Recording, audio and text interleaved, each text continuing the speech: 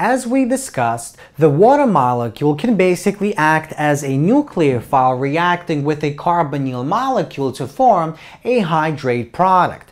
Now, water is not the only nucleophile, not the only molecule that can act as a nucleophile. Other molecules can also act as nucleophiles. And one such molecule that we're going to discuss in this lecture is the alcohol molecule. So alcohol can react with our carbonyl molecule to form a hemiacetal. And that hemiacetal can then be transformed into the acetal compound. And this is what we're going to discuss in this lecture. So let's begin by discussing how the hemiacetal is formed and what it actually looks like.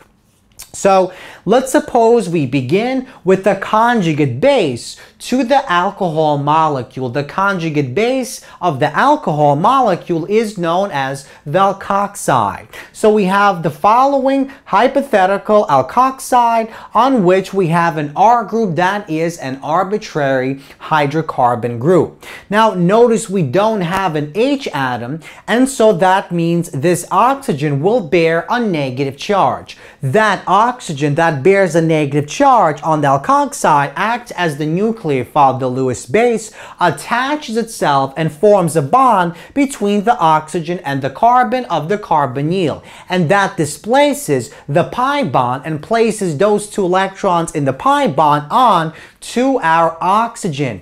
And within this intermediate, we have a negative charge on this oxygen. So now this can act as a Lewis base and grab an H atom from a nearby water molecule. And basically the final product is known as the hemiacetal. So this is our hemiacetal that is formed when a carbonyl reacts with our alkoxide. Now in this particular case, we use the aldehyde for our carbonyl. Now, whenever an aldehyde reacts with alkoxide to form the hemiacetal product, this product will be favored at equilibrium. That means at equilibrium, we're going to have a lot of this product. But if we replaced a ketone, if we replaced the aldehyde with the ketone, then our product would not be favored and the reaction or the equilibrium of the reaction would lie to the reactant side. Our reactants would be favored at equilibrium if the ketone was used.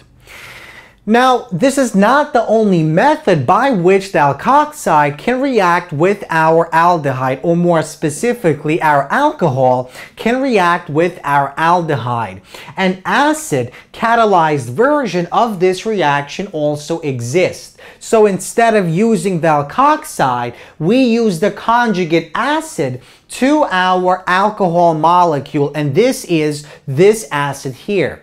So basically we have two H atoms attached to our oxygen which bears our positive charge. So this acid reacts with our carbonyl molecule. Once again we use the aldehyde and what happens is the lone pair of electrons on the oxygen of the carbonyl molecule grabs this H atom away from this acid forming this alcohol as well as this resonance stabilized structure. In the second step, this alcohol molecule now acts as the nucleophile attacking using its lone pair of electrons on the oxygen to form a bond between this oxygen on the alcohol and this carbon on our carbonyl molecule. And this pi bond is displaced onto this oxygen here. Now, notice we have a positive charge on this oxygen, so we must deprotonate this H atom. So in the last step, we, we basically want to regenerate that acid that we began with, and we also want to form the hemiacetal. So this alcohol takes away this H atom from this oxygen, forming our hemiacetal and regenerating this acid molecule, the conjugate acid to our alcohol molecule that we began with initially. So in both cases, we form the same exact product, assuming that we began with the same exact R group and our aldehyde. So these are two identical hemiacetals. So in this step, our alkoxide acts as the nucleophile, and in this step, the alcohol acts as our nucleophile. And these two steps lead to the hemiacetal formation. So the hemiacetal basically contains the two groups that were attached, the carbon of the carbonyl, as well as this alkoxide and this hydroxide. Now, as soon as this product is formed in either one of these two reactions, the reaction will go in reverse. That is, the product will begin to break down and eventually will end up on the reactant side. However, there are two pathways that the reverse process can now follow. One of these pathways will lead back to the aldehyde, the initial starting material, and the other pathway will lead to the acetal compound. So let's focus on the other pathway. So let's suppose we form a little bit of the product as well as this particular acid. So now the reaction can now go back in reverse.